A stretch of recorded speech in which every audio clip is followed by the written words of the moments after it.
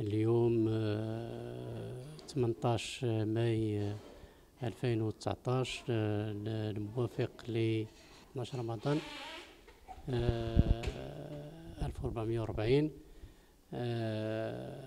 عندنا اللقاء ديال اللجنة الوطنية اللي كتكون أساسا من الكتاب الجهويين ومن رؤساء الهيئات الموازية ورؤساء اللجنة المركزية وباقي أعضاء الإدارة العامة واللي كيترأسها الأخ الأمين العام لقاء عادي آه، اللي كنعقدوه كل ثلاث أشهر للوقف للوقوف على سير العمل آه، وتقييم العمل كل ثلاث أشهر ومعرفة أيضا الحاجيات والدفع بمستوى العمل ديال حزب العدالة والتنمية. هذا اللقاء اللي هو انطلق قبل قليل بكلمة هامة جدا للأخ الأمين العام آه، الدكتور سعد الدين العثماني واللي عطى فيها توجيهات إشارات سياسية أيضا حيا فيها الجهود اللي كيقوموا بها الإخوان على المستوى آه، الوطني.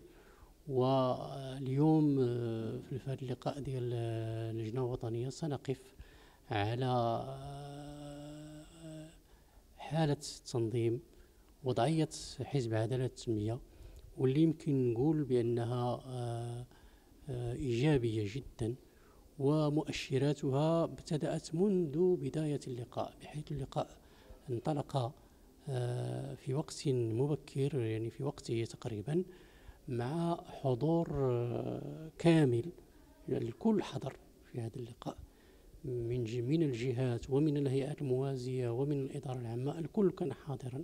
وفي الوقت وهذا يدل على جدية العمل وعلى الإحساس بالمسؤولية وعلى التعافي حزب العدالة والتنمية وجاهزيته لخدمة المواطنين. وأيضا آه، هي رسالة للمغاربة على أن حزب العدالة والتنمية وأطره على مستوى الجهات وعلى مستوى أيضا آه، باقي الهيئات مستعدة لخدمة وطنها مستعدة للرفع من من الشأن السياسي ومن شأن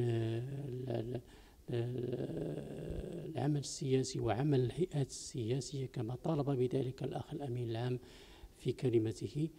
فجدول أعمالنا طبعا الحال يتضمن نقاط متعددة من نقاش سياسي سيكون مع الأخ الأمين العام إلى نقاش تنظيمي نقف فيه على تقارير الجهات وتقارير باقي هيئات.